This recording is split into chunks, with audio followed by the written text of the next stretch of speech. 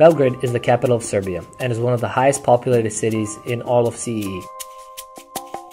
With a boosting population of over 1.8 million inhabitants in the city area, with 1.2 million in the inner metropolitan area.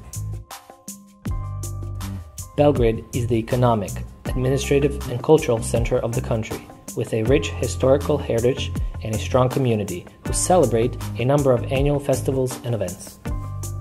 The local economy is complemented by the large number of tourists visiting the historic city areas, vibrant nightlife, and attractive yearly festivals which gather more than 700,000 tourists from the region.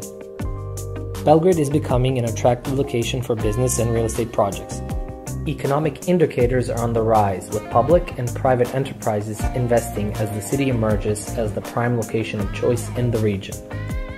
Located a short stroll from the main CBD boulevards, Delta City benefits from an optimal and a desirable location, with a densely populated imminent customer base.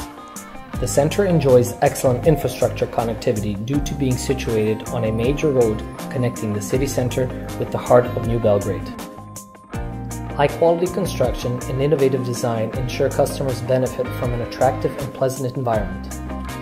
In the vicinity of the center, there are over 15 modern office buildings, providing over 160,000 square meters of GLA.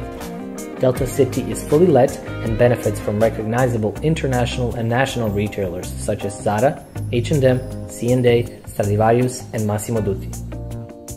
Delta City is a well-recognized and popular leisure destination.